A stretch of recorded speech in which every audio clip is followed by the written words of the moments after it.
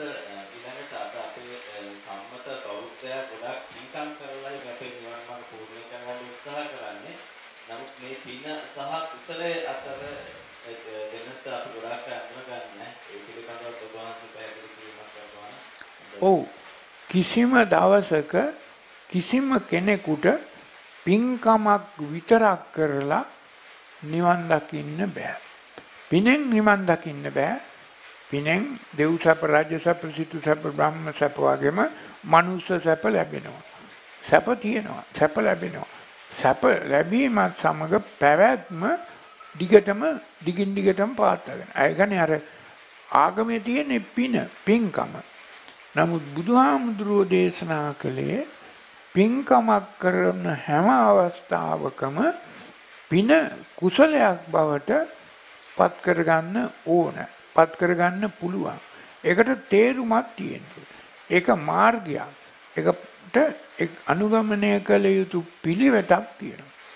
ඒක නිසා අපි පින්කමක් කළ යුතුයි මනුෂ්‍ය හැටියට ඔබට පින්කම් කරන්න පුළුවන්.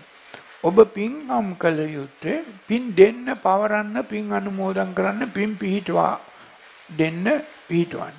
දැන් ඔබ ඔබගේ අතීත ඥාතීන්ට සියලු දෙනාට දැන් අම්මලා තාත්තලා ඔබව හැදුවා වැඩුවා කිරි දුන්නා ඉගැන්නුවා ලොකු මහත් කළා කන්න බොන්න දුන්නා.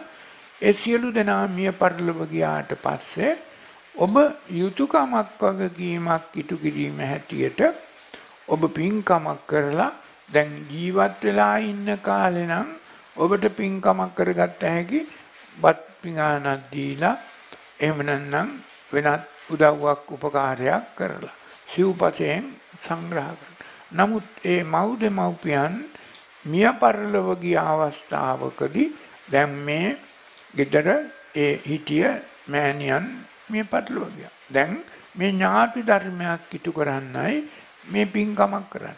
මේ පින්කම කරලා ඔබ සියලු දෙනාටත් මේක පෙන්වලා දීලා මේ පින කුසලයක් බවට පත් කරගන්න පුළුවන් ක්‍රමයක් තියෙනවා.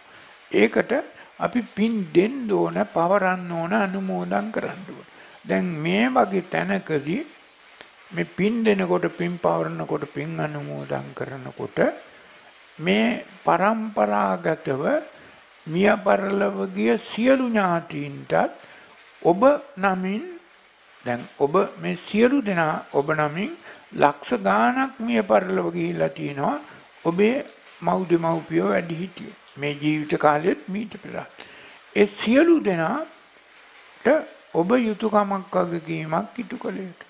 එතකොට මේ වගේ පින්කමක් අපි කරන්නේ ඒ සියලු දෙනාට කැපකොට පින් අනුමෝදන් කරලා ඒ යුතුයකම වගකීම ඉටු කරලා ඒ ණයෙන් මිදී නිදහස් නමුත් මේක හොඳට තේරුම් ගන්න ඕන අද සම්මත බුද්ධ ආගමේ කරන්නේ ඊට වඩා වෙනස් දෙයක්. ඒක මහායාන කියන බුද්ධ ආගමෙන් ආපු වැරදි දෙයක්.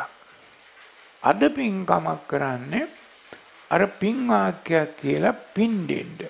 කාටද පින් දෙන්නේ? ඔය දානෙට සහභාගී වූ සම්බන්ධ වූ අයටම කියනවා අනේ ඔබ අද බොහොම හොඳ පින්කමක් කළා හොඳ දානමය පින්කමක් කරගත්තා ඒ නිසා මේ දානමය පින්කමේ ශක්තියෙන් නන්දා මල්ලිකා සුමනා සුනන්දාමෙන් භෝග සම්පත් ධන සම්පත් රූප සම්පත් රත්තරම් බඩු මේ සියල්ල ලැබ දෙව් මිනිස් සැප කෙලවර මතු බුදුවන බුදුන් දකින්නට මේ පින ඔබ සියලු දෙනාට උපකාර වේවා හේතු ආසනා වේවා කියලා. අද මේ සම්මත බුද්ධ ආගමේ හාමුදුරුවරු නොදැන පින අර සසර දික් වෙන හැටියට. එතකොට මතු දෙව් සැප රජ සැප ලබන්න නම් ඔබේ නිවනට කැප කරන්න ඕනද නැද්ද? පින කුසලයක් කරගත්තේ නැහැ පුණ්‍ය අபிසංකාරයක් කරගත්තා. නමුත් බුද්ධ දේශනාව බුදුහාමුදුරුවෝ කිව්වේ අද පින්කමක් කරන්න ඕන කරලා පින් දීලා පින් පවරලා පින් අනුමෝදන් කරලා කුසලයක් කරගන්න ඕන.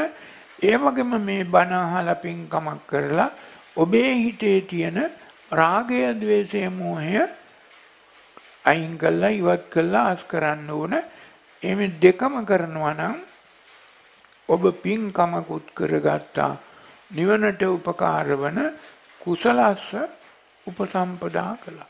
ඉතින් ඒක නිසා මේ පිනයි කුසලයයි දෙකක් පින්වතුනි බුදුහාමුදුරුවෝ පින්කම් කරන්න එපැයි කිව්වේ නෑ.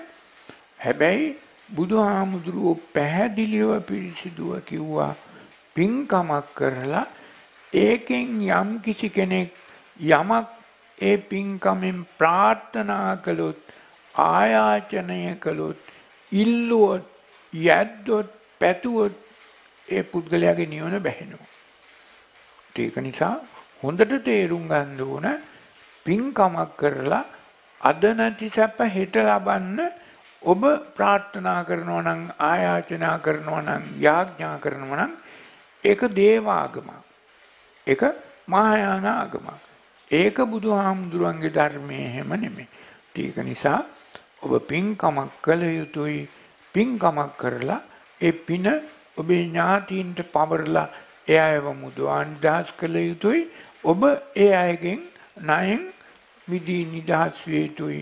ඒ වගේම පින් දෙනකොට පින් පවරනකොට පින් අනුමෝදන් කරනකොට ත්‍යාගෝ පටිනිස්සග්ගෝ මුත්‍ති අනාලයෝ අශේෂ විරාග නිරෝධෝ හැටියට ඔබේ හිත පිරිසිදු විය යුතුයි. ඔබේ හිතේ රාගය, ද්වේෂය, මෝහය ඉවත් වෙලා යුතුයි. ඒක නිසා මේක හොඳට තේරුම් ගන්න ඕන පිනයි කුසලයයි එකක් නෙමේ අහසට පොළොවමෙන් දෙකක්. මිනිසෙක් හැටියට ඔබ පින්කම් කළ යුතුයි. පින්කමක් කරපු මොහොතේම ඒ පින කුසලයක් බවට පත් කරගන්නට නිවන් මඟට උපකාර වන විදිහට තමන්ගේ හිත පිරිසිදු කරගන්නට පින් දීලා පවර්ලා අනුමෝදන් කළා රාග දේශ මොහ තුනම බාල ගති තුනම ඔබේ හිතෙන් ඉවත් කරන්න ඕන. එතකොට ඔබ පිනත් කුසලයක් දෙකම තේරුම් ගත්ත බෞද්ධයෙක් බවට පත් වෙන්නට ඔබට සියලු ශක්තිය ලැබෙනවා. මේක පිළිබඳව තව හුඟක් කතා කරන්න තියෙනවා. පැයක පැය එකහමාරක් විතර දේශනයක් තියෙනවා. පින සහ කුසලය පිළිබඳව ඉන්ටර්නෙට් එකේ තියෙනවා අපි මීට ඉස්සෙල්ලා දේශනා කරපු ධර්ම දේශනා කිහිපයක්ම පින කුසලය ඒ වගේම ණය ගන්න දෙනුවෙන් විදී නිදහස් වෙන කරුණු පිළිබඳවත් වෙනම ධර්ම දේශනා තියෙනවා හැම භාවනා වැඩසටහනකදීම. ඒ ධර්ම දේශනාවක් ඔබ ශ්‍රවණය කළොත් ඔබට පිනත් කුසලයක් අතර වෙනසක් තියෙන බවත් පිනෙන් නිවන් දකින්න බෑ. පැවැත්ම දි කරගන්න පුළුවන්. හොඳ සුගති ලෝකවල කාමලු. ඒක නිවන නෙමෙයි. නමුත් පින කුසලයක් බවට පත් කරගත්තොත් අද අදම ඔබ නිබ්බානගාමී වෙනවා. ඔබ බැමිතුනෙන් විදී නිදහස් වෙන්නට දක්ෂයෙක් වෙනවා. ඒකයි වෙනස.